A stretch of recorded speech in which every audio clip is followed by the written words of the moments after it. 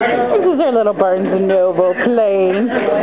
They are about four months old. Um, Tibetan Spaniel. Pekingese mix. Mom is a Tibetan Spaniel. Dad is a Pekingese mix. They are friendly now, going and feisty and funky. and... Hi guys! Say hi!